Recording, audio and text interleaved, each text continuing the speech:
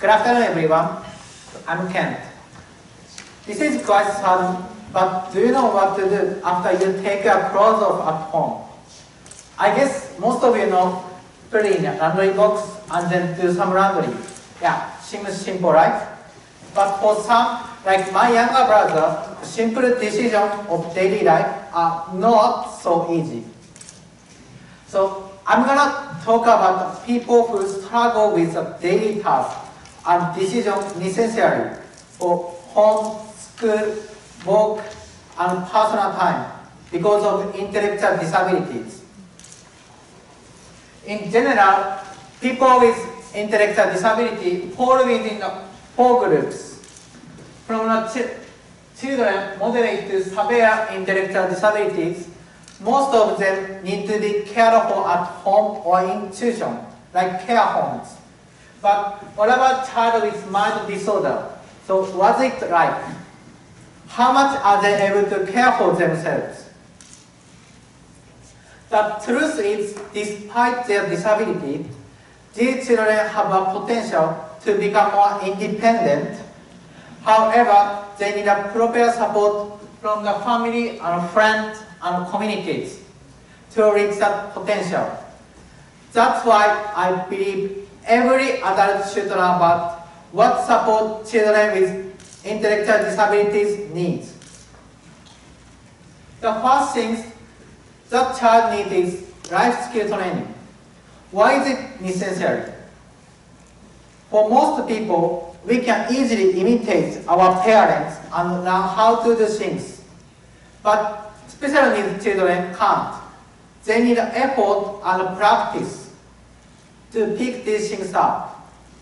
In order to learn how to use the transportation, so my brother went on an outdoor activity.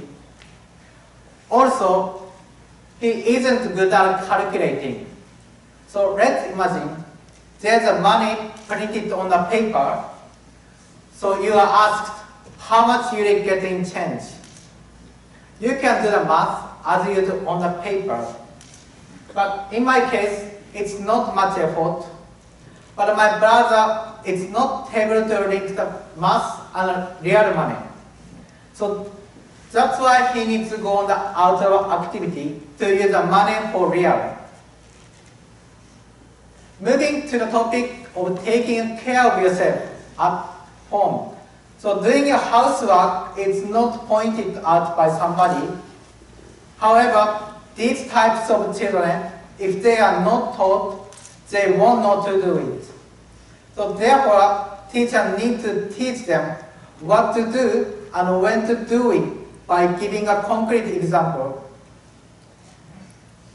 But the second thing that these children need is understanding from the family and friends.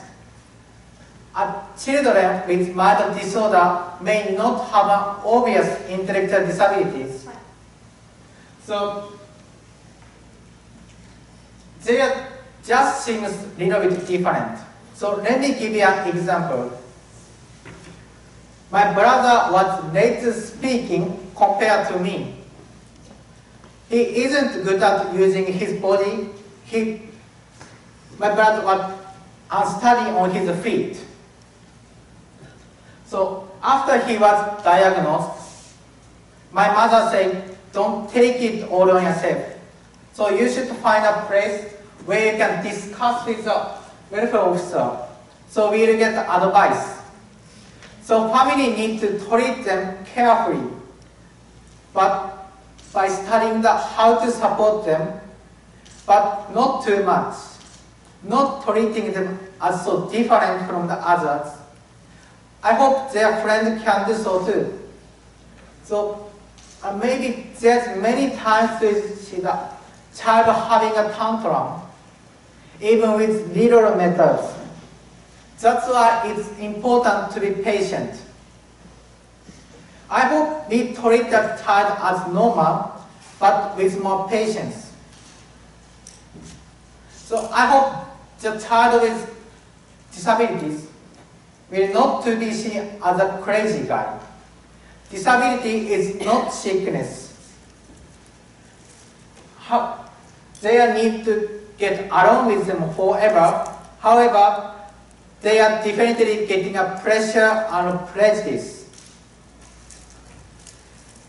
So I've been thinking if the child goes to a suitable and supportive school and has a receptive family around him, then that will be linked to the possibility of getting a job and living more comfortably. Thankfully, my brother achieved his desire. So when he looked for a job, he told us where he wanted to go and passed the interview. Additionally, he's going to a boxing class on his free time. I mean, if he hadn't been in the special class and had the people to support him, he wouldn't have been able to succeed. So I hope the child with disability find lots of happiness and possibility from their surroundings.